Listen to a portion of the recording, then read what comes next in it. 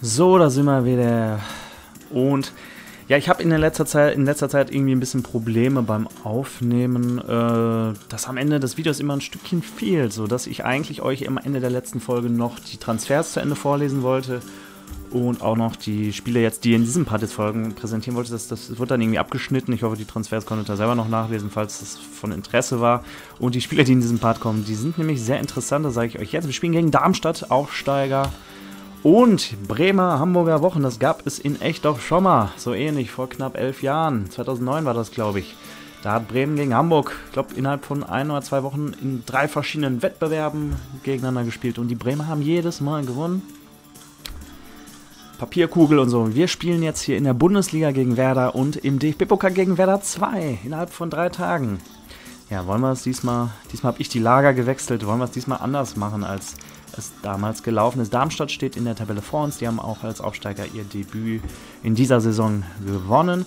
Ich habe jetzt an den Videoeinstellungen ein bisschen was geändert. Ich hoffe, dass das jetzt ähm, nicht mehr so ist, dass am Ende des Videos ein paar Sekunden fehlen hoffe mal, die Lösung gefunden zu haben. Ja, wenn wir Champions League, ist, das jetzt, ist das schon der erste Spieltag? Jawohl. Dortmund gewinnt 3-0 gegen Tel Aviv.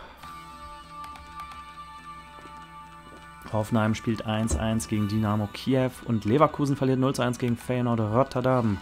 In der Euroleague noch keine deutsche Beteiligung, die wird noch folgen. Jan Vertongen von West Ham United verpflichtet.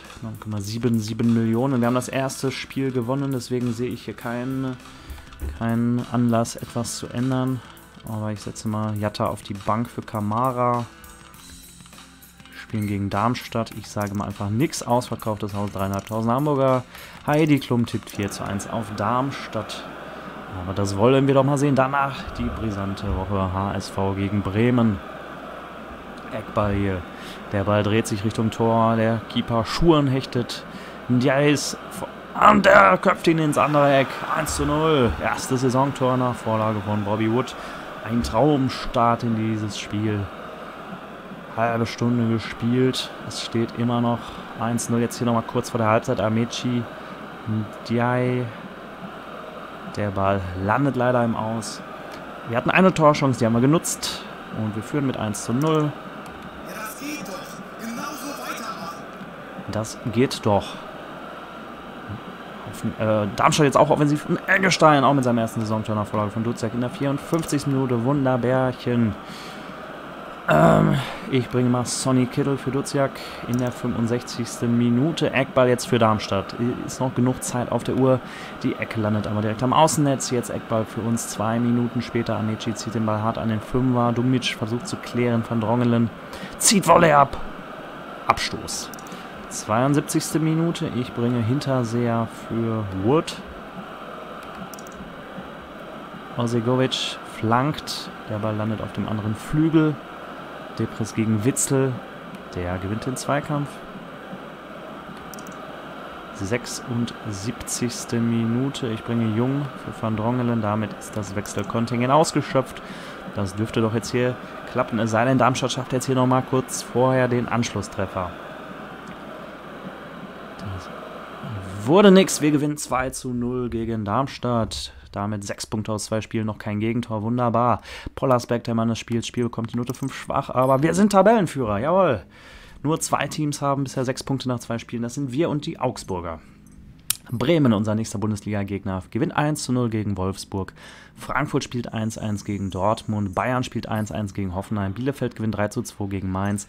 Freiburg gewinnt 1-0 gegen Gladbach. Leipzig gewinnt 5 zu 0 gegen Nürnberg. Nürnberg hat jetzt ein interessantes Torverhältnis. Die haben das erste Spiel 6-0 gewonnen, das zweite Spiel 5-0 verloren. Äh, Stuttgart gewinnt 1-0 gegen Leverkusen. Augsburg gewinnt 1-0 gegen Hertha und Darmstadt verliert 0 zu 2 gegen uns. Wir sind also ja quasi identisch mit Augsburg. Warum ausgerechnet wir jetzt auf 1 stehen, weiß ich nicht. Wir haben nämlich beide ein Torverhältnis von 3 zu 0 und 6 Punkte. Gladbach ist die einzige Mannschaft mit 0 Punkten. Auf den anderen Abstiegsrängen Frankfurt und Hoffenheim. Bayern dümpelt wieder mal so rum, hier Platz 14, 2 Punkte nach 2 Spielen. Augsburg, wie gesagt, Zweiter in der Elf des Tages. Pollersbeck, Witzel, Ndiaye und Wood, viele Hamburger. Dann haben wir Transfers. Ramani geht von Verona nach Freiburg. Steven Zuba von Genua nach Bremen. Ähm, Brennett von Hoffenheim nach Turin. Und jetzt spielen wir gegen Werder Bremen 2. Wir haben 20 Millionen auf dem Konto, aber können weitere Pokaleinnahmen natürlich gut gebrauchen. Die Meldefrist für den Europapokal, Europapokal, Europapokal, Euro ist abgelaufen, wir sind eh nicht dabei. Johannes Eggestein hat im letzten Spiel sein erstes Tor für seinen neuen Club erzielt. Muss eine Runde schmeißen, alle freuen sich, das ist gut für die Stimmung. Stefano Scapino lässt ein Trainingsspiel drei Bälle hintereinander durch die Beine rutschen. Er verliert vier Motivationspunkte. Die anderen Spieler lachen schon über ihn. Hat hier... Das war, war doch auch hier sein erstes Tor. Warum muss er keine Runde geben? Naja. So, wir spielen gegen Werder Bremen 2. Ist da irgendein bekannter Name? Ich kenne keinen. Scheinen auch keine Veteranen zu spielen, oder? Ähm, da wird rotiert. Was hatte ich jetzt gesagt? Wer ist mein Pokalkeeper? Ich glaube, Heuer Fernandes. Capino hat doch in der Euro, in der, im UI Cup gespielt, oder? Ich weiß es nicht, ich habe es vergessen, aber da wechseln wir jetzt mal ein bisschen durch. Kamara darf zum Zuge kommen. Leibold mal auf der 6. Ferrari darf spielen. Jung darf spielen. Fein, geht mal auf die Bank. Bessar darf spielen. Ja, Mera, hier wird wild rotiert. Wir sind aber immer noch stärker. Jungs, auf dem Papier ist das eine leichte Aufgabe. Aber die, die werden uns das Leben verdammt schwer machen. Wir haben die Ansprache verstanden. Ja, ich hoffe mal, dass ich jetzt nicht zu viel rotiert habe. Es sind nämlich nur noch 12 Stärkepunkte Unterschied. Platz 11 am Weserstadion. Die Hälfte, mehr als die Hälfte der Zuschauer ist Hamburg-Fan. Das in Bremen. Harald Schmidt tippt 3 zu 2 auf Werder Bremen 2.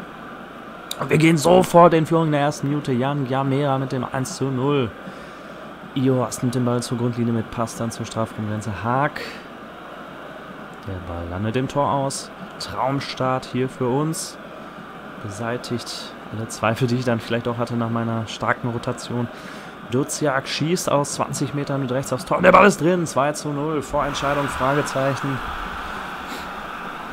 Und eine Minute später indirekter Freistoß. 19 Meter Jung legt ab auf Leibold, der flankt. Aber der Ball bleibt hängen. Einwurf.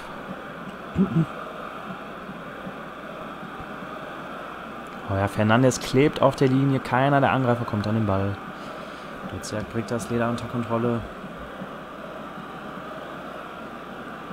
Oh, er rutscht, der Ball rutscht ihm durch die Beine, aber er bekommt ihn noch zu fassen. Wir machen richtig Druck. Wir wollen die Vorentscheidung schon in der ersten Halbzeit. Dieser Ball landet im Aus. Bobby Wood mit dem 3-0. Die mit der Vorlage und nochmal Freistoß. Wir haben richtig Bock. Richtig Bock hier. Leibold wie an der Schnur gezogen. Der Keeper springt und dreht das Geschoss noch um den Pfosten. Also, ich möchte jetzt schon mal von einer Vorentscheidung sprechen. Leibold in die Arme, in die, vor die Füße von Wiemann. Wir führen 3-0 zur Halbzeit 6-0 Torchancenverhältnis. Überragendes Spiel. Duziak wird gelobt. Oh, die haben ja noch eine bessere Leistungsspiel. Zeigt. Ich geht das nie mehr vorbei. Ja, drei Tage später wartet die erste Mannschaft von Werder. Werder 2 jetzt auch offensiv. Kamara gegen Becker. Bringt den Ball unter Kontrolle, wird von Becker bedrängt, verliert den Zweikampf. Bassar kontrolliert, passt auf den Flügel. Ndiaye passt zurück. Das Abspiel landet beim Gegner. Eine gelbe Karte für Duziak. 63. Minute. Hinterseher kommt für Ndiaye. Passiert hier noch was? Christian Groß sieht gelb. Dem Bremer läuft auch die Zeit davon. Ich bringe mal Ähm, fein für Leibold. 76. Minute. Jatta für Samperio. Gelb für Becker. Ich glaube, das war's jetzt. Bremen hatte noch keine Torchance. Doch, jetzt Tor. Luke Ihorst. Nach Vorlage von Kevin Sessa mit dem 1 zu 3. Aber wir gewinnen trotzdem souverän mit 3 zu 1 in Bremen.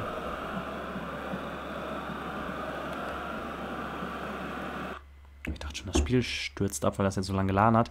Jan Chiamera macht auf sich aufmerksam, bester Mann, Note 3.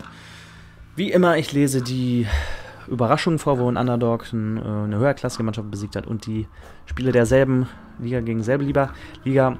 Bayern gewinnt in der Verlängerung 4-1 gegen Hertha. Dortmund verliert 0-1 gegen Leverkusen. Zweite Liga gegen erste Liga. Der Zweitligist Aue schlägt Augsburg. Zweitligist Köln schlägt Hoffenheim in der Verlängerung. Zweitligist Paderborn schlägt Eintracht Frankfurt im Elfmeterschießen. Zweitligist Schalke schlägt Freiburg in der Verlängerung. Die Zweitligisten gewinnen hier fast jedes Spiel. Ja, Kräuter Fürth gewinnt 2-0 gegen Darmstadt. Nur ein, mehr als die Hälfte der Zweitligisten hat die Erstligisten besiegt. Die Erstligisten konnten die Drittligisten jedoch immer schlagen. Die Amateure haben alle verloren. Zweite Liga gegen Zweite Liga. Düsseldorf gegen Köln. Auch brisant. Fortuna Düsseldorf gewinnt im Elfmeterschießen gegen Viktoria Köln. Dritte Liga gegen Zweite Liga. Dritte Liga gewinnt gegen Zweite Liga. Hier Karlsruhe besiegt Dresden in der Verlängerung. Saarbrücken besiegt Regensburg, die ja in echt hier ganz gut, sehr gut im DFB-Pokal mitmischen. Die Amateure verlieren alle. Dritte Liga gegen Dritte Liga. Rostock verliert gegen Magdeburg. Die Amateure verlieren wirklich immer, aber zweimal gab es ja Amateurduelle. Trier verliert gegen Chemie Leipzig und Gießen besiegt den Heiler SV. Und wir gucken uns jetzt mal die Auslosung an. Ich hätte gerne unterklassige Mannschaft und ich hätte gerne ein Heimspiel. Wir wollen hier weit kommen im Pokal. Zweite Liga gegen zweite Liga. Union Berlin gegen Schalke. Chemie Leipzig, die würde ich wohl nehmen. Gegen Wehen Wiesbaden, dritte Liga. Gladbach zu Hause gegen Arminia Bielefeld, ein Erstligaduell potenzielles Live-Spiel für ARD und ZDF. Stuttgart gegen Wolfsburg, auch ein Erstligaduell. Würzburg gegen Bremen. Die erste Mannschaft von Bremen. Gräuter Fürth gegen Heidenheim, Zweitligaduell. Aue gegen Bochum, ebenfalls zweitklassiges Duell. RB Leipzig, das wäre jetzt auswärts natürlich ein Albtraum los, aber wir haben Glück. Die spielen gegen den Hallischer FC. Nürnberg in der zweiten Runde gegen Fortuna Düsseldorf. Karlsruhe würde ich wohl auch nehmen, Drittligist gegen Paderborn. Magdeburg, Drittligist gegen Hannover. Gießen würde ich wohl auch nehmen. Amateure gegen St. Pauli. Ja, sie spielen gegen den Hamburger Verein, aber nicht gegen uns. Wir müssten doch jetzt mal langsam kommen hier. Mainz gegen Bayern München. Auch ein Knaller los hier. Erstligaduell Sandhausen gegen Köln. Ersten FC Köln. Bayern München 2 würde ich wohl auch nehmen. Gegen Bayer Leverkusen. Zweite Mannschaft hier, die noch im Rennen ist, Saarbrücken. Gegen den HSV. Ja, Saarbrücken macht es in echt sehr gut im Pokal. Wir haben mal wieder das allerletzte Los bekommen. Wir spielen auswärts in Saarbrücken. Das ist wohl machbar. Da bin ich zufrieden mit dem Los. Gibt zweieinhalbtausend Siegprämie. Und jetzt, oh, Joris Gnagnon von Tottenham Hotspur verpflichtet. Über 30 Millionen hat er gekostet. Wir spielen jetzt gegen die erste Mannschaft von Werder Bremen. Die ist auch nicht so stark. Ist das hier ernsthaft ihre Aufstellung aus Dinson und Zuba im Sturm? Oder ändern die das jetzt nochmal? Haben die keinen Stürmer? Was ist denn da los? Augustinsson ist doch kein Stürmer. So, wir wechseln wieder durch. Pollas, Beck, Mal ein bisschen rotieren. Letschert darf mal ran. Kittel mal von Beginn an. Eggestein gegen seinen Ex-Club. Äh, Amici darf wieder ran. Gamera hat allerdings gut gespielt. Ne, dann lasse ich ihn nochmal. Amici spielt mal auf links. Ein bisschen wild durchgemischt. Männer, wir sind die beste Mannschaft in Deutschland. Heute müssen wir beweisen, dass wir auch die beste Mannschaft in Stuttgart sind. Was ist das denn jetzt für eine Ansprache? Wir sind ja nicht in Stuttgart. Viele, die Spieler fragen sich, was diese Ansprache soll. Ich wollte doch sagen, für viele ist das das wichtigste Spiel des Jahres. Ja, Hamburg gegen Bremen. In Hamburg 57.000, ausverkauftes Haus. Stefan Raab tippt 1 zu 1. Die Bremer spielen tatsächlich mit dieser kuriosen Formation. Zuba und Augustinsson im Sturm. Was soll denn das? Eggestein, der Ex-Bremer, Läuft noch drei Schritte, zieht ab. Toll gehalten von Pavlenka. Also keine Ahnung, was der Computer hier macht. Rote Karte für Sonny Kittel. Ei, ei, ei, ei, ei. Jetzt müssen wir hier fast 80 Minuten in Unterzahl spielen. Äh, in dem Sinne ziehe ich Bobby Wood ein Stückchen zurück. Und wir spielen dann halt nur mit zwei Stürmern. Die offensive Ausrichtung nehme ich auch raus. Nur kontrolliert offensiv noch Augustinson. Müssen wir überhaupt groß verteidigen, wenn die ohne Stürmer spielen? Keine Ahnung, was da bei den Bremern los ist. Schöner Schlenzer in die rechte Ecke. Aber Augustinsson, er beweist mir das Gegenteil. Von wegen, der ist kein guter Stürmer. Der macht hier das 1 zu 0 in der 10. Minute. Eieieiei, Rajica gegen Letschert. Der grätscht, wird von ihm überlaufen. Marschiert auf die linke Strafraumecke zu, kommt frei zum Schuss und Pollersbeck hält. Und Amici mit dem Ausgleichstreffer nach Vorlage Bobby Wood. Und Wood kommt frei zum Schuss. Drei Minuten später, Pavlenka wird angeschossen und hat den Ball im Nachfassen. Wir haben den, ja, es ist jetzt Halbzeit und in Unterzahl den Ausgleich nach Rückstand erzielt. Das ist gar nicht mal schlecht. Amici wird gelobt. Er lächelt sich, er lächelt darüber.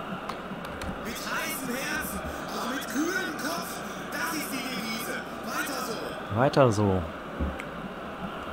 Warum spielen wir denn jetzt schon wieder offensiv? Das wollte ich doch nicht. Hat die Ansprache das verursacht? Oder wird das eben nicht richtig übernommen? Ich will nicht offensiv spielen. Gosen zieht gelb. Und Zuba, auch der. Von wegen. Von wegen, das sind beides keine Stürmer. Beide treffen hier auf ihren neuen Positionen. Was ist denn der Zuba? Zuba ist eigentlich Mittelfeldspieler. Ja, wir liegen schon wieder hinten und dann müssen wir doch offensiv spielen. Auch in Unterzahl. Ndiaye spielt nicht gut. Hinterseher kommt für ihn. Einwurf durch Eggestein. Ja, auch ein Duell der Brüder hier. Der Bremer Eggestein. Ferrari hat aufgepasst, köpft den Ball aus der Gefahrenzone. Direkter Freistoß für Werder. Gosens tritt den Ball hoch vors Tor. Suarez verlängert mit dem Kopf. Der Ball bleibt auf dem Tornetz liegen. Jetzt spielen wir. Jung spielt nicht gut, da bringe ich mal Papadopoulos. Gelb für Giamera. Wir haben noch 10 Minuten. Ähm, es kommt Jatta mal in den Sturm für Eggestein. Eckball jetzt nochmal für Bremen. Werden wir die erste Niederlage der Saison kassieren hier. Einwurf durch Eggestein, den Bremer Eggestein auf Augustinsson.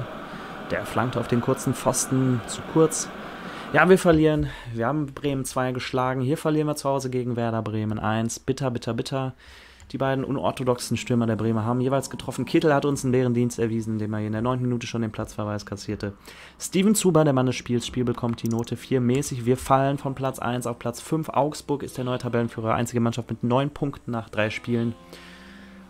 Ob's Hoffenheim schlägt Leipzig mit 2 zu 1, Nürnberg schlägt Frankfurt mit 2 zu 1, Bayern mit dem ersten Saisonsieg 2 zu 1 gegen Bielefeld, Dortmund auch 4, viermal 2 zu 1 hintereinander, Dortmund 4 zu 1 gegen Leverkusen, Wolfsburg 1-0 gegen Freiburg, Hertha 2-0 gegen Darmstadt, Gladbach 1-1 gegen Stuttgart, Mainz 0-1 gegen Augsburg und wir verlieren 1-2 gegen Bremen. Augsburg vor Dortmund, vor Hertha, vor Nürnberg, vor uns. Wir sind punktgleich auch mit Wolfsburg und auch mit Bremen. Bayern klettert Hoffenheim ebenso auf den Abstiegsrängen jetzt alles Teams mit einem Punkt. Jede Mannschaft hat schon mindestens einen Punkt erzielt in der Bundesliga. Gladbach, Mainz und Frankfurt ist neues Schlusslicht. In der Elf des Tages Ferrari und Amici von uns. Trotz der Niederlage verstehe ich nicht so ganz. John Cordoba geht von Bremen nach Wolverhampton Wanderers. Mm. Jo.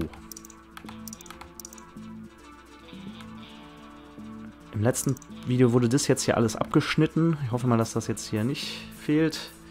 Ähm, Im nächsten Part spielen wir gegen Stuttgart, gegen Leverkusen und gegen Frankfurt.